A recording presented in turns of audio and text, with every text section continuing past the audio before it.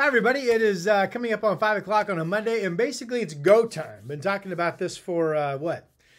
Going way back to the mid part of last week at least. And the front, circled in the black circle here, is just upstream in the northwest flow pattern and is on track to come in tonight between 10 and 11 o'clock this evening. So, in the meantime, clouds will thicken up. We'll start getting into more of a scattered shower pattern this evening. Haven't seen much rain around, as you know so far today. And really, when the front comes in, it's not initially a big rainmaker. Scattered showers will actually pick up behind the front overnight. And as colder air starts to move in, that cold air will actually fuel convection and start fueling a pretty active uh, shower pattern, I think, during the day tomorrow. Snow levels will drop. I still think we'll have snow levels down somewhere between just above 1,000 feet and below 1,500 feet uh, as we get going into early tomorrow morning. Okay, all right. I almost uh, clicked the wrong thing. Here we go. Watch warning map from the National Weather Service. Lots of things going on. So the, the white base color up and down the valley, that's nothing. okay?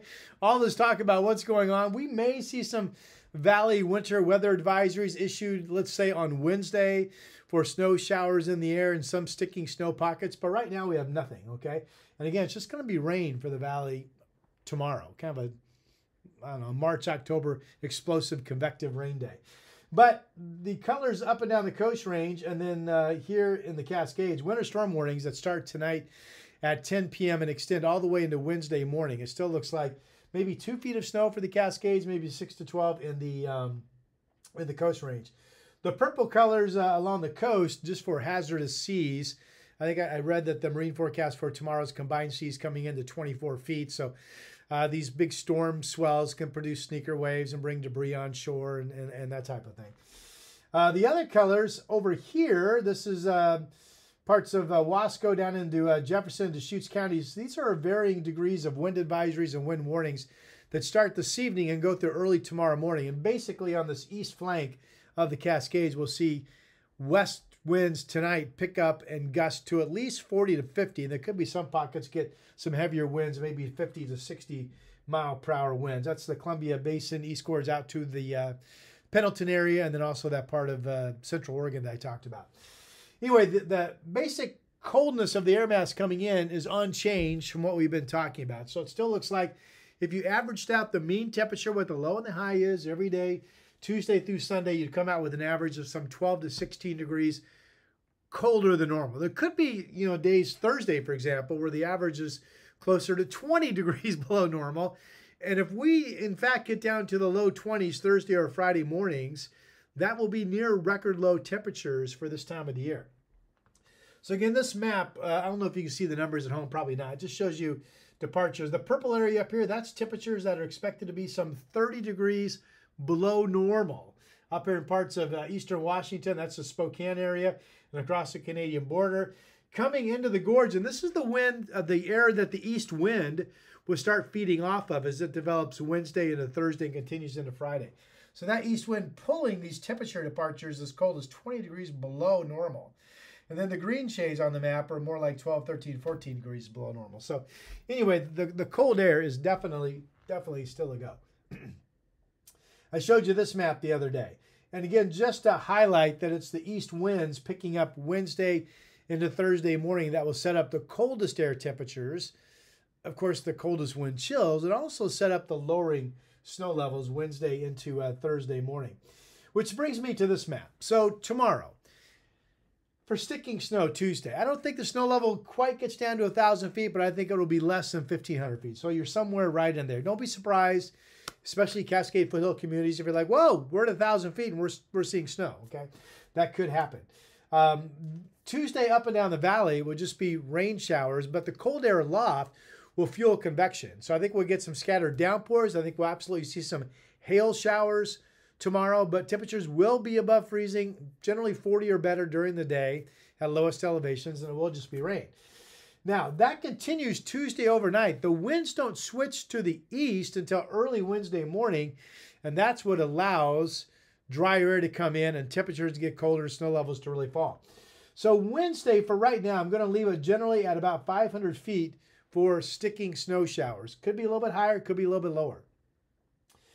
I think Wednesday, if you look at the radar at any given moment, it will in fact be mostly snow or kind of an icy mix, what we would call graupel, those little ice pellets in the air. There could be some rain mixing in, but I bet you most of the showery activity in the air Wednesday will be snow or that kind of icy pellets called called graupel.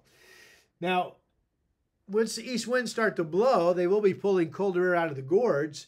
So I will be watching temperatures, especially in the afternoon in East Multnomah County and East Clark County, areas out near the gorge.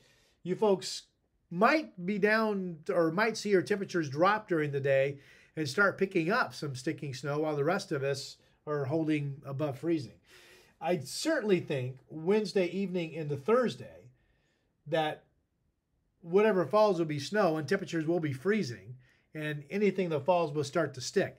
Again, we're not looking at a, a big widespread batch of snow and I'm not even positive we're looking at a couple decent snow bands. But if we get a couple snow bands moving through, we could certainly see anywhere from a dusting to two inches of snow at the lowest elevations Wednesday evening into Thursday morning. As we go on into the day Thursday, I think eventually the east winds will start to win the day. And we'll just have flurries as the air gets drier and drier and really kind of colder and colder.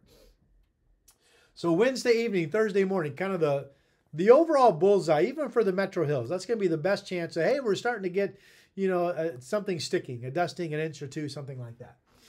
We're sticking with the 12 to 24 inches up in the mountains, and we're sticking with 6 to 12 inches in the coast range. Again, the coast range it will only be the high passes picking up snow around 1,000 feet or above on Tuesday, but then all the coast range will become dicey and potentially snow covered with it's again it's going to be scattered snow showers. That doesn't mean everybody gets it, but much of the coast range I think would have a chance of being snow covered um, more than not eventually as we we get into the day uh, Wednesday. all right, what have I got coming up here? So just some headlines. We talked about the all rain below a thousand feet on Tuesday, tomorrow of course. We talked about Wednesday being mostly snow or an icy mix. And as east winds come in, maybe it's the PM hours that the east side does start to slip down to freezing and see some sticking snow. We'll watch that. All areas seeing uh, sticking snow, but it's going to be scattered activity, a dusting to two inches Wednesday evening through Thursday morning. I mean, there are some weather models. I worked at KGW this morning. Some of the Futurecast models there were showing a pretty good snow band Wednesday evening that was fairly widespread in nature that would cover a lot of us, at least with a dusting, I would think. So again, we're watching that. Not a snowstorm, but maybe a dusting an inch or two. Gorge snow showers become possible Tuesday night through Thursday AM, and you would think, again, it may not be completely widespread, but you would think there'd be some decent areas in the gorge pick up at least some snow on the ground, including Hood River. All right, that just brings me to the seven day forecast. I didn't talk a lot about wind. Uh, again, we have winds at the coast picking up uh, this evening into the overnight hours. Northwesterlies gusting to 40. I think overnight tonight into early tomorrow morning, there will be noticeable winds in the valley, maybe northwesterlies gusting to 35. We get into the daytime hours of Tuesday with those showers scattered, some of them heavy with hail, some northwest winds gusting to maybe 25 in the afternoon. Wednesday morning is when the east winds start to kick. That's why I have a temperature above freezing Wednesday morning. Because we could stay westerly throughout Tuesday night. That would allow allow the lower spots like Portland to stay above freezing into Wednesday morning. And then I've got 34 to 40. But Wednesday's going to be interesting. If east winds start to kick, maybe we warm up to 30. Maybe we warm up to 40 at noon. And then all of a sudden, east winds start to fire and get stronger, and the temperature actually drops during the afternoon. And maybe, you know, in scattered areas, we, we get folks saying, hey, we have snow on the ground. So that's Wednesday, but it will be snow showers. We talked about the best chance overall of low level sticking dustings to an inch or two being Wednesday night, Thursday. This is all east winds blowing through Friday. Thursday gets into a drying pattern in the afternoon. Look at that, 25 to 32. And then Friday, all dry. And it depends on the wind speed. Remember, we need the winds to get calm for the temperatures to drop to their, you know, furthest potential. But I'll go 20 to 38 on Friday, a little bit of warming during the day. All models now agree that we'll stay dry Friday night and we'll stay dry during the day Saturday. Now, there is some cloudiness coming in Saturday. So it's not like Saturday's a slam dunk to be dry. Right now, it looks like there could be maybe some Light precipitation develops Saturday afternoon, but most of the data shows that we stay dry until Saturday overnight and going into Sunday. And if that's the case, and we hit 40 on Saturday, then clouds thicken during the evening, and winds are going to be westerly, then I like our chances of staying above freezing, seeing morning rain to showers on Sunday, and seeing occasional shots of rain on Monday. In, in other words, no ice on the back end. But that's still something that needs to be watched carefully, okay?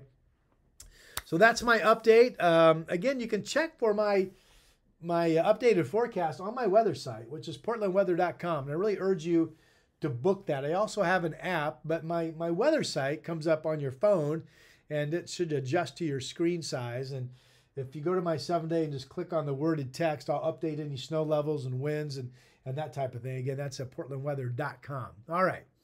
That's it for now. Tomorrow we'll be checking out observations and, and just kind of starting to follow along and see exactly what we have Tuesday into Wednesday. Thanks for subscribing to my YouTube channel. I'll talk to you soon.